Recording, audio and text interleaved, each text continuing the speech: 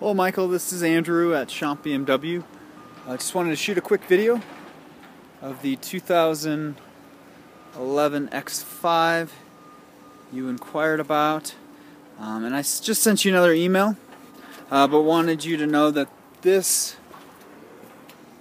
um, its warranty has expired. Looks like it expired actually uh, April 3rd of this year, so just a couple days ago. Um, that was the four-year, um, the four-year original warranty, um, but also it was a 50-year or 50,000 mile warranty, so that expired actually uh, prior. Uh, still has the roof racks. Um, it's a good-looking car. Um, I'm not seeing any, really any door dings. Definitely no hail damage. Um, it's in great shape, and the 5.0 engine is just awesome. Um, but let me know if you'd like to come down and take a uh, for a spin or see it um, up close. I will be here until 6 p.m. this evening, back tomorrow noon to 9 p.m.